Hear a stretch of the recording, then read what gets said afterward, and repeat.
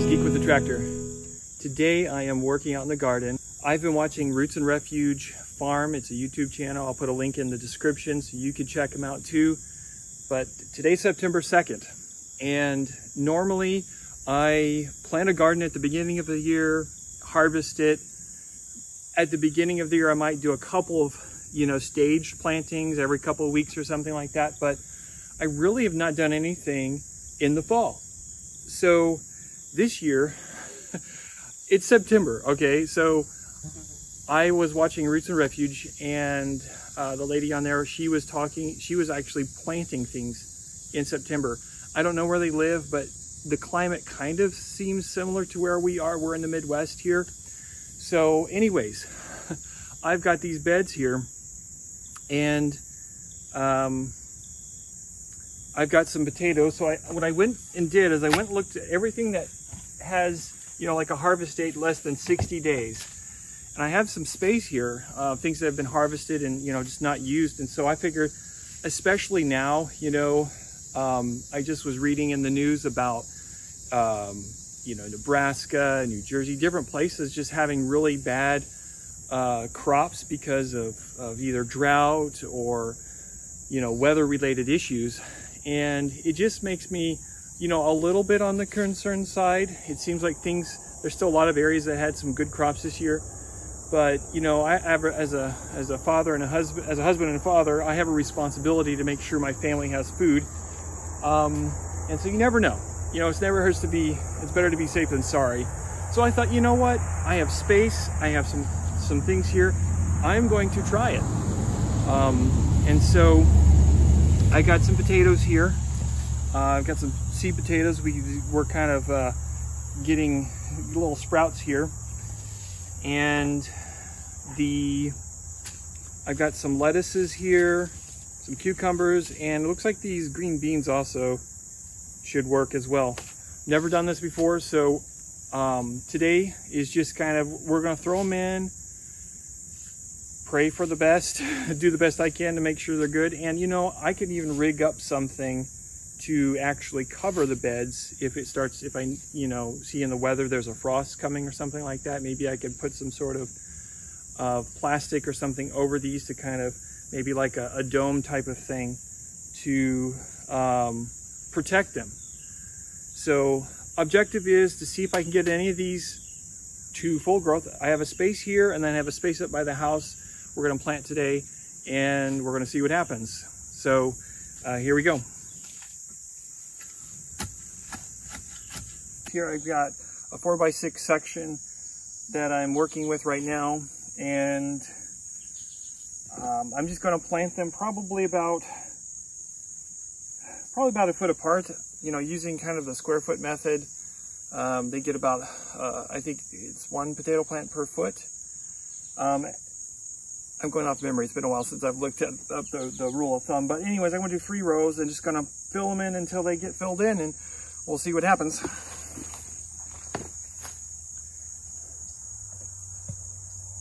And I start about there, here, here, there. I'm to throw a couple more in here just for good measure. How about one in there?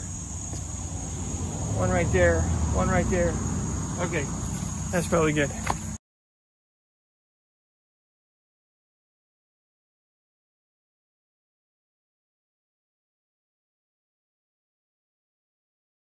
So I let my tomatoes go a little bit here, but I, did want to show you that uh,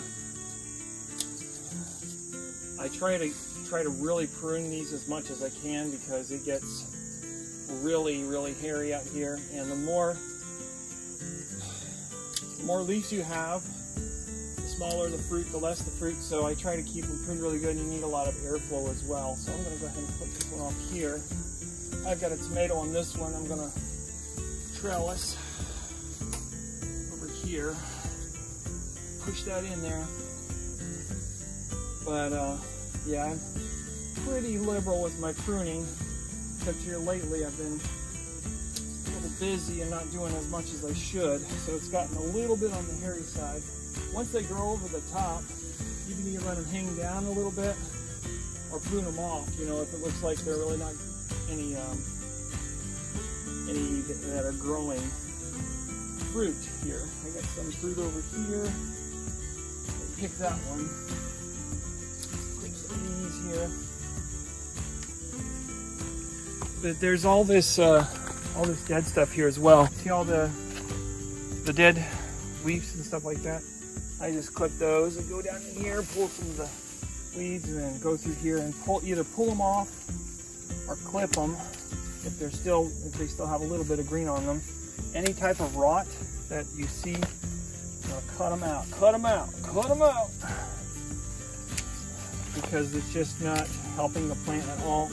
And if you do find any that are molded, you want to actually burn those. Don't put them in your composting pile or anything like that because that will continue to be a problem if you do that and reuse the compost.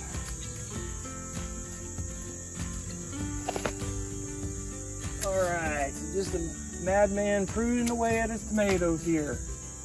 Not a madman, a geek man. Yeah, yeah. Did I just do that? I did that. Alright. Clipping away, clipping away. Get rid of all the stuff here. See, the more you prune, the more tomatoes you get. The happier the plant is. Whoops. Pruned one with a tomato on it. It's okay. I can pick it up. Okay, these are really growing out the top here. Um, I think I'm going to go ahead and cut them back a little bit because once they get too tall, they start breaking and all that kind of stuff. So I'm going to cut them, actually cut them back here. Some of the lower branches will actually start pr producing fruit, shoot, fruit shoots, fruit shoots, call them. There's a rotten tomato. Ugh. Oh yeah all right that one back. Fortunately, this year I've not had any problems with, uh, well, earlier in the year I had a, a uh, tomato worm there, one of those worms that have a big old horn on it back and this giant green scary looking one. And I uh, took care of that one right away. Unfortunately, haven't had a problem since, so been blessed in that regard. I, I like to try to come down and check every once in a while just to make sure. Because if you don't, man, they will get out of hand and they will eat everything. So, all right, we got some big boys right here. Um, so I'm to come on the other side of the trellis here. Got some uh, really long little suckers right here. Coming down here, here.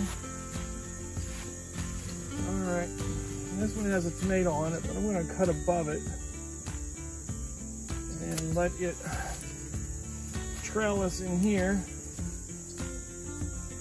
Finish its thing. I think I'll cut right there. There we go. And that'll grow nice and big. That'll grow nice and big. All right, what do we got going on up here? We got some new growth here. This one's kind of coming out, so I'm gonna get rid of that one. That one. Yep, see how that one's coming down. It has a tomato on it, so I'm gonna cut just above that. Actually, I'll cut up here probably. And I'll let the tomatoes dangle in on the other side. There we go. One of the previous garden updates is tomato was really, this plant was really doing bad, but uh, it ended up taking off and you can see, I mean, it's, it's moved all the way up, up to there. Right here's the top. So tomatoes will find a way. They're pretty resilient plants.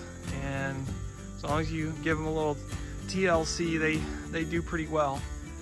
But yeah, that one didn't look like it was gonna make it, but it's uh, making some fruit. We got some right here, right there. A couple, a few in there. I'm gonna prune around it and give it uh, give it some more uh, opportunity to do better. All right, let me show you what I did here. I actually dug out the uh, dug out this bed and mounded all the dirt up here because, you know, like I said earlier, the um, potatoes, whenever they start growing, you need to mound dirt back over them and keep piling dirt in around them. So I just dug out probably about six, seven inches, mounded it up there, and I'm just gonna cover these right here, just a little bit. And what I have now is in this bed, I have all the dirt ready there, on the ready to pull in and actually mount around the potatoes. So trying to make use of all the space I can and everything. The, the earth is willing to give, just have to be willing to uh, put in a little time and prepare it and put the uh, seeds and plants in there to grow. Uh, weather and the Lord and the weather will do the rest. All right, so I'll leave that I'll leave that until they start coming up and start mounting.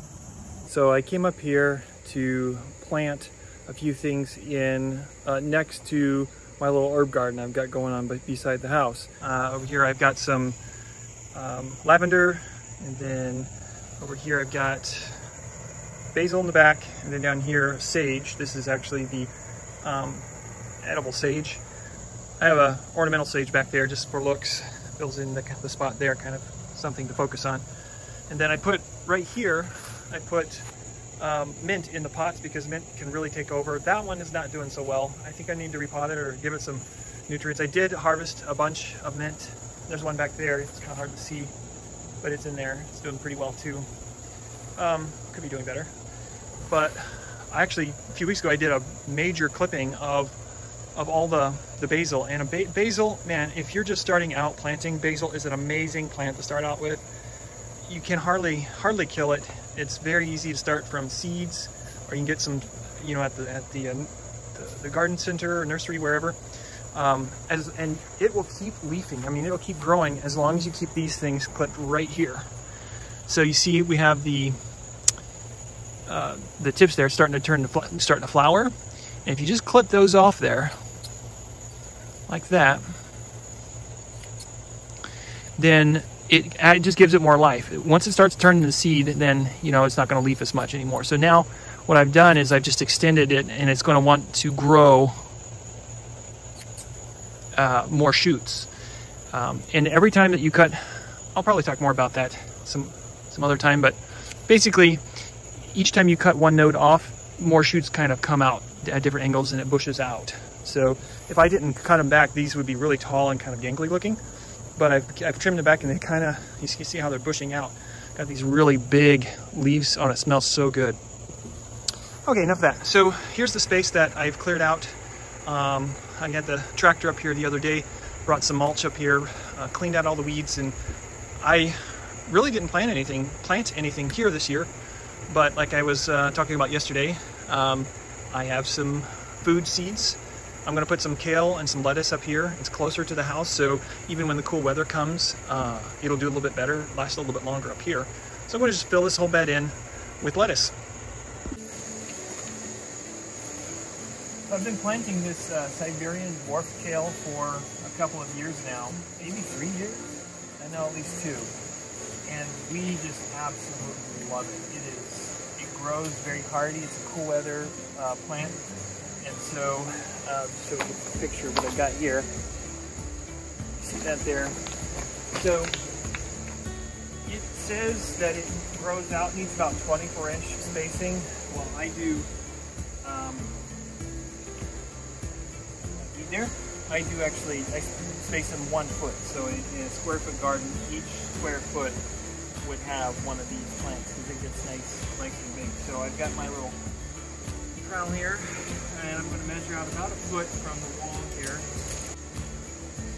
Okay, had it in real good, locked in loaded. Got this red romaine. Um, they come in these little groups there, little bunches. Not so much leaf, I guess. Well, I guess they'd be leafy, but little pod looking things. Heads. Heads, that's the word. They say thin four inches, so I'm gonna plant four per square as well. So let's get my line here, a little space from there, some room from the other plants. That one. And here's another one here. All right, so my next square, right. Some space here, foot, and foot. There we go. Make my little holes here.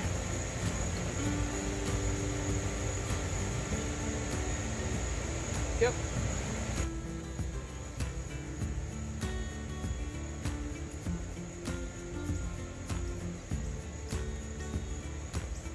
Dump them all in there. There we go. Really, really curious how this is going to do. Boy, I don't know how the audio was on that with with the uh, fan going over there. And I have some space right here. You know what? I'm just going to put some more right in here. Might as well use everything, man.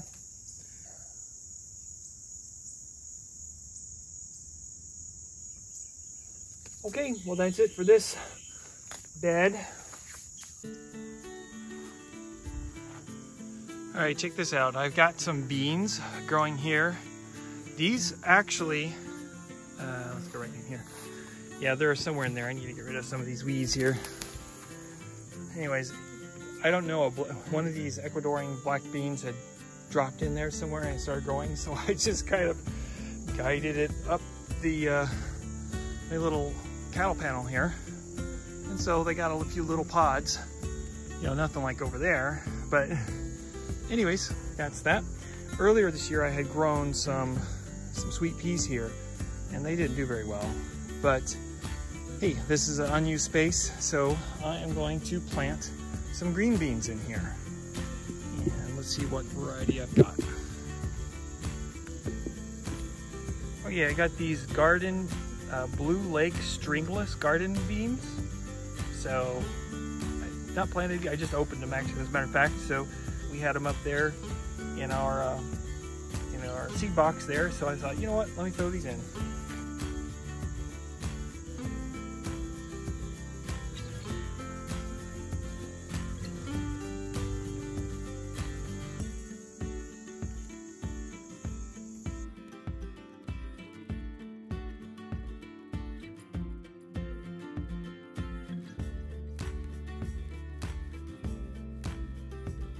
That's that. We'll see how these grow.